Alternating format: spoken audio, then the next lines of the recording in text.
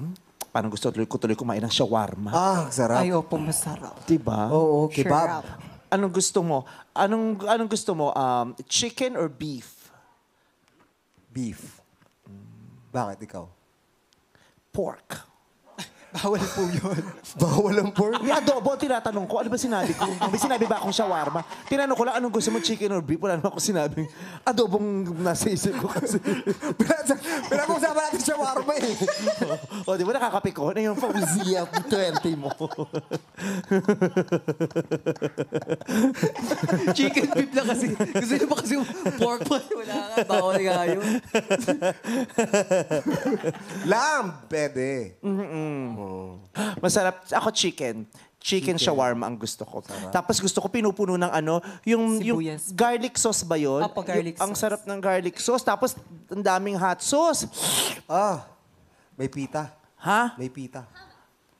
Pita bread. Apo, pita bread po yun. Oh. Tama, di ba? Shawarma wrap yung sa amin, di pita. Ah, mas malambot. Oo. Mas malambot yung wrap. Dati nauso ang shawarma, no? Yung kada kanto may shawarma talaga. Yung ginaganon, yung ginigilitan. Oo, yung kalsada nyo, amoy shawarma na rin, di ba? Amoy usok na ng shawarma. Ang sarap niya, nakakaano yan, nakakahatak talaga. Yung pag naamoy Yes. mo, bibili ka talaga. Para eh. padadamihan mo ng sibuyas. Oo.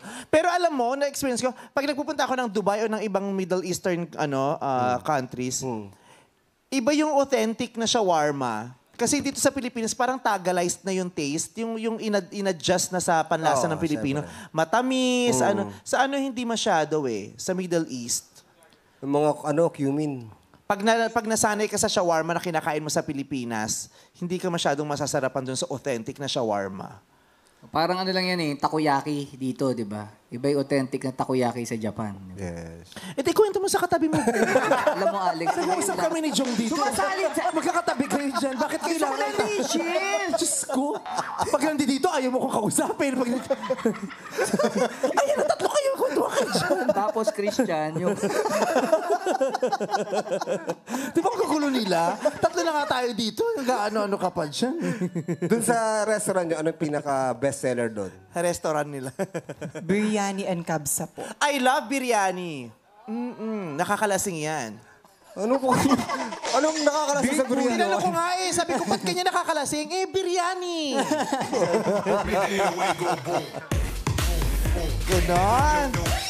Kala ko masarap, nakakalasing pala. Eh kasi nga, biryani. Oh, maganda rin yung ano niyan eh.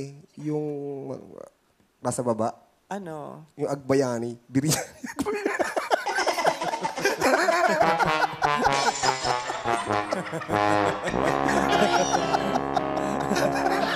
yung umiiling si Ryan, no? Gra- Grabe. grabe na yung kasabawan natin.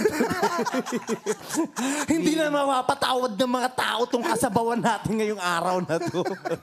Nasa baba yun ng Ay, menu. naku, tama na, Jong. May kwento ka pa ba dyan, Bong? tama na, grabe na to. Kausapin na natin yung Rado.